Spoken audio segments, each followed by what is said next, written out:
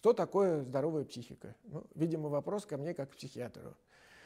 Э, печальная новость. Э, здоровье – это э, фантазм.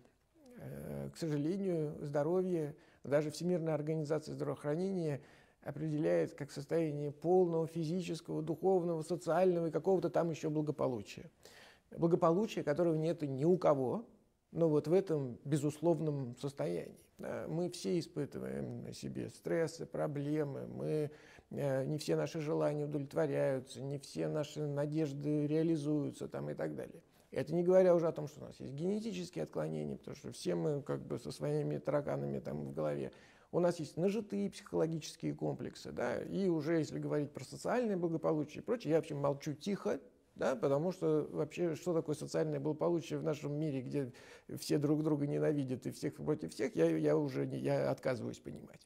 Вот, поэтому, к сожалению, психическое здоровье нам не грозит. Но, с другой стороны, если у вас есть некий экстремум, да, вы можете к нему двигаться. И я считаю, что это будет полезно, потому что от качества вашего душевного состояния зависит и качество вашей жизни. В конце концов, она то, как мы ее чувствуем.